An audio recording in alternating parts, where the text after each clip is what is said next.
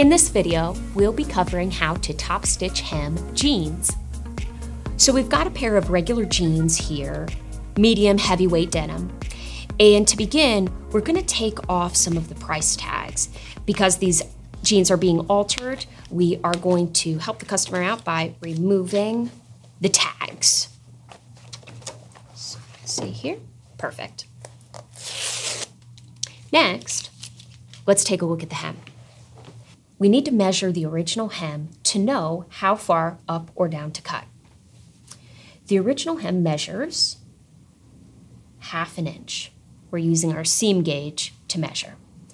Because there isn't a raw edge inside, it means it's been doubled over. So it's probably been folded half an inch and half an inch. We always want to use the original hem to gauge the new hem and make them the same. So we know if this measures half an inch that we need to go one inch down from our mark. One inch down to cut from our mark puts us right in the middle of that original hem, and we don't want to cut there. We need to release this hem and press the seam allowance down before we cut our new hem. The easiest way to do that is to cut with our seam ripper from the inside. We don't want to damage the outside of the garment accidentally, so it's safest to seam rip from the inside. We're going to seam rip this all the way around so that we can release this seam allowance. So we've used our seam ripper to release that original hem and used our iron to press out the seam allowance fully.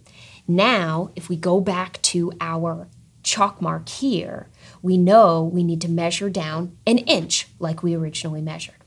So here is going to be our new line like we measured before, right in the middle of that original hem. So let's mark that out and cut that off. So now we're going to measure down again one inch from our original mark. What we need to do is place the new hem line straight across with our chalk and the cutting line straight across. To do that, we're going to place our pant legs right next to each other, trying to line up the raw edge along the grid on the table.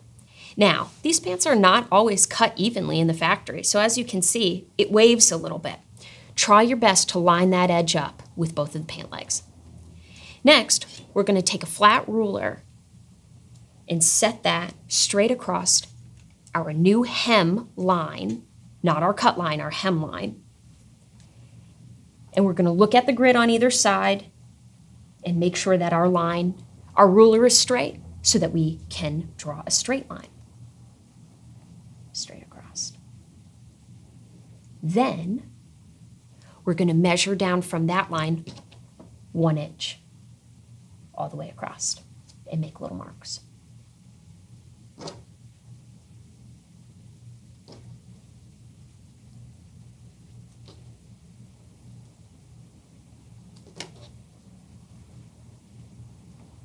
Perfect. Now, as I said, sometimes the jeans themselves are not exactly straight, but as long as we match up our new mar marked lines with the grid on the table, we know that our cutting and our new hem is going to be straight. So, now, with our glove on and our rotary cutting ruler, we know that we are ready to get cutting. So we're going to use the chalked line the hashed line, that is our cutting line, to cut off that additional seam allowance. We're going to be very careful because we can only cut once. So we want to make sure that we are looking at all of the lines that we've marked and the lines on the table so that we are totally straight. Now we are going to push down on the ruler and keep everything in place and make sure that our fingers are behind the bumper here. And then we're just going to slowly and gently use our rotary. With thick fabric like this, sometimes it may need to be cut more than once. That's okay. The most important thing is that we cut slow and we cut away. Over this hump will be hard.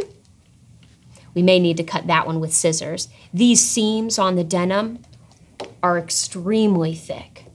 So if we need to snip that, that's okay. All right.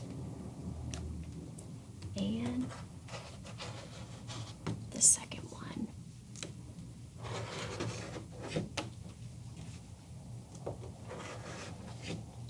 Alrighty. Perfect. Now we have our new edge that we're ready to fold. So now we are over at our cutting board. We're going to turn the jeans inside out. Now, just like we measured, we're going to turn them half an inch up and press. So we're holding that half an inch up and we're just going to lightly, with our steam, kind of press that in place. And then fold it up once more, half an inch, just like the inch that we measured out, and pin in place. See, we can measure with our gauge to make sure that we are just at half an inch there. Now, we're going to gently move around the bottom of the pant, pressing up half an inch at a time. Careful to watch our fingers. And then pressing another half an inch up and pinning. So it's not perfect. It still comes away from the jean a little, but that's okay. We're not going to put a pin through that seam because it would be impossible. We'll just bend a bunch of pins. We're going to pin as we need to keep it in place, but don't go crazy with the pins. We don't want to spend too much time pinning. Again, holding that half inch up, using a little steam in our iron to get that to sit in place so that we can fold it up once more. Measuring frequently to make sure we're at half an inch. It's very important that we measure and stay at exactly what we originally measured so that the pants aren't too short or too long when we finish.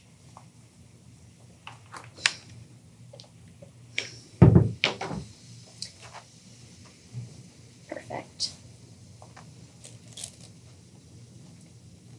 So we've used about five, maybe six pins. And now, once we've got our pins holding everything in place, we're just going to lay the bottom down and give it a once over press with steam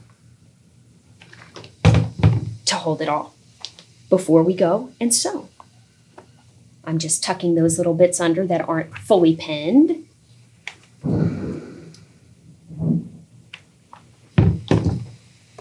Perfect. And now we are ready to sew. So we're here in front of our heavy straight stitch machine, ready to sew our denim hem. We've pinned and pressed our double turned hem in place. And now we're actually gonna flip the jeans out to the right side. Now we've got the right side of our jeans facing out. I like to sew with the right side out because it allows us to sew from the inside still, but keeping the upper layer out of our way. So let's pick the inside seam to start. Let's start by placing one of the side seams underneath our needle to start. I like to keep the back stitching on either one of the side seams so that it doesn't end up somewhere in the middle of the pant leg. That looks clumsy and we want it to look nice and clean.